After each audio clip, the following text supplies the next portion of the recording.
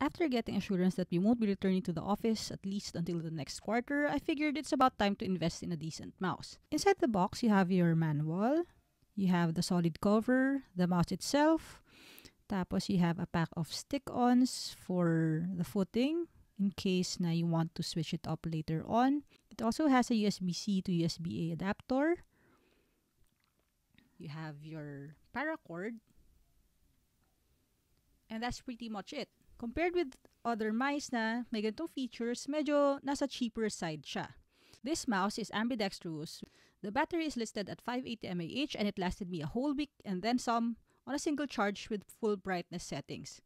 Equipped with Huano Blue switches, they are pretty clicky without requiring much effort. This mouse has features I probably won't use but are there just in case, like the customizable macro option and the precise DPI settings.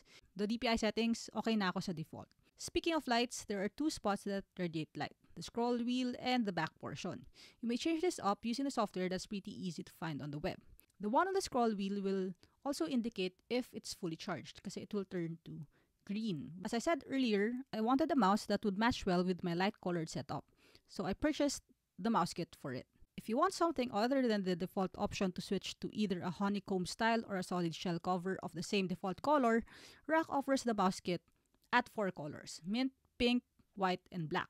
The mouse kit comes with a perforated cover, the solid cover, and the cover for the switches, and it also includes another set of spares for the stick-on sa bottom.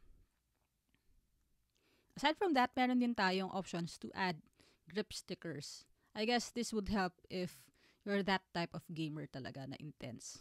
One thing to consider is that there are no options to change up the side panel, so keep your base color in mind before choosing to get either black or white for the mouse itself.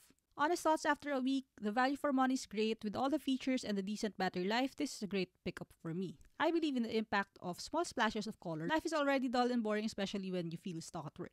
And looking at this setup reminds me that I do have the freedom to live life my way, and being a professional doesn't necessarily mean that I'm stuck with just blacks and grays. I'm happy with the way this looks, and I'm happy to add this to our Battle Station 2021 setup.